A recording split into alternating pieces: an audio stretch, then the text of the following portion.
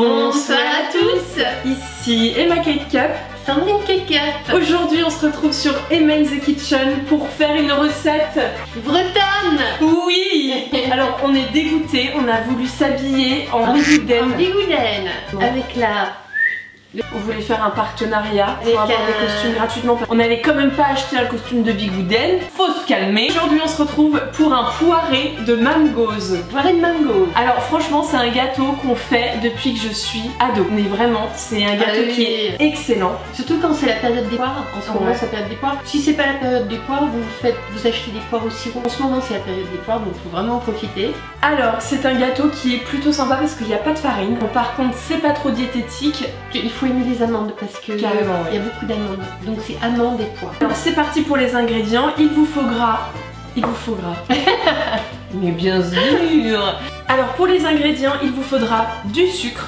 Il vous faudra de la poudre d'amande, 4 œufs et du beurre. Et évidemment des poires. Et évidemment des poires. On en a pris 3. Euh, oui, parce qu'il faut 6 euh, demi. Exactement. Pour faire mettre en rosace dans le moule. Et voilà. Et encore une fois, si vous n'avez pas de poires, prenez des poires au sirop. Donc on a notre fameux cul de poule. C'est cul de poule. On l'adore. Donc bah écoute, c'est parti mère. Commençons. Voilà. Donc là, on va commencer par battre les œufs et le sucre. Voilà, Bravo Sandrine J'ai tapé trop fort. J'ai peur, je vais taper trop fort à chaque fois. Chine qui nous regarde. Elle est trop genre, mais qu'est-ce qu'ils font? Alors très important, il faut bien que le mélange blanchisse. Vraiment que ça blanchisse, que ça devienne bien mousseux et que bien mousseux, voilà que c'est une consistance très légère. Faut pas qu'il y ait encore les œufs un peu euh, voilà parce que c'est ça qui va faire tout enfin le sucre aussi bien fondu quoi. Donc là maintenant on ajoute la poudre d'amande. Pareil, on mélange bien, bien amalgamé. Et on ajoutera le beurre. Alors là, il est mou, mais il faut qu'il soit fondu. Ouais, on va vraiment le faire fondre. On va le faire fondre au micro-ondes.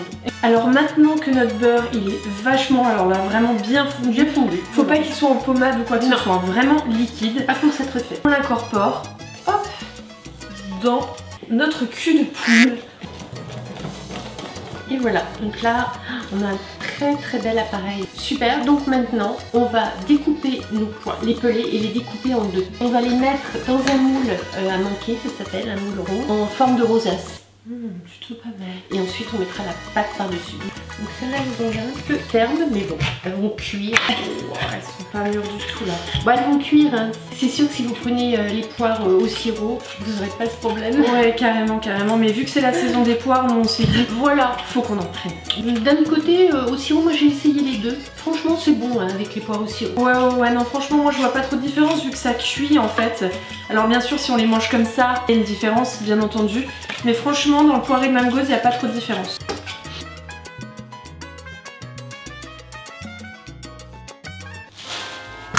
Alors, dites donc, ces petites poires sont magnifiquement voilà, euh, coupées et bien mises. Voilà, faut bien les mettre en rosa. Maintenant, nous allons verser la pâte, vraiment au-dessus, etc. Bien sûr, les poires vont dépasser, c'est normal. C'est normal. Euh, c'est pas que vous avez fait assez de pâte ou quoi que ce soit, enfin pas fait assez de pâte. On va voir les poires un peu dépassées, ça va faire un effet un peu bombé. Oh non, est-ce oh est une blague J'en ai mis dans mes cheveux.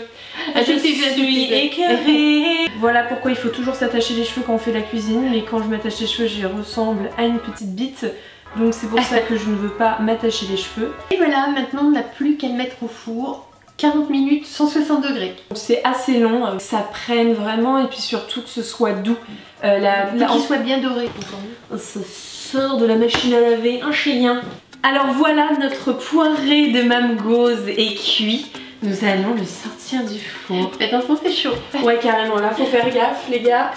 Hop, je fais tout tomber et le gâteau serait Oh, c'est beau. Oh ouais, il est plutôt pas mal. Il est vraiment plutôt pas mal. Oh, oh là là, je vais vraiment extrêmement Ce qu'il faut savoir, c'est que c'est un gâteau qu'on ne retourne pas et que faut le manger, enfin le servir dans le plat. Dans le plat, ouais. si vous avez, ça existe des plats en faïence, en porcelaine, ça existe. Hein. Là, notre plat n'est pas spécialement joli, mais bon. Ouais. Contre là, j'ai pris un couteau, mais non, il faut faire attention euh, bah, de ne pas rayer le fond. Donc on va prendre plutôt une spatule. Et donc c'est parti, goûtons ce poiré de mangos. Je suis très impatiente. Ça peut servir tiède, hein, carrément. enfin, comme vous voulez. Hein.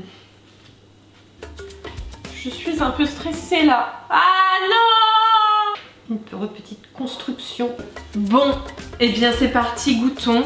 Alors moi je vais prendre un peu avec de la poire. Le truc c'est de prendre un peu de poire, un peu de pâte. Je m'en mets chaud. Ce qui est très bon dans ce gâteau, c'est qu'il n'est pas trop sucré. Alors il y a des gens qui aiment bien les gâteaux très sucrés, hein. donc là c'est pas tellement sucré. La poire, je trouve que c'est un, super bon goût. Ah bah oui, c'est la poire et l'amande de toute façon. Ah c'est euh, vraiment excellent. C'est bon. Hein. Et voilà, cette vidéo est terminée. On espère vraiment que ça vous a plu. Nous, en tout cas, c'est vraiment une de nos recettes préférées. On est très contents de vous la partager. Et il y a Cheyenne qui... Ah, tu veux apparaître dans la vidéo ah oui mais elle est pas assez grande. Si si. Oh oui mon amour T'es paniquée là, je le sens. Oh là là, elle fait les yeux exorbités genre. Bref, nous on vous fait plein de bisous et on vous dit à bientôt. Vive la Bretagne Oui, vive la Bretagne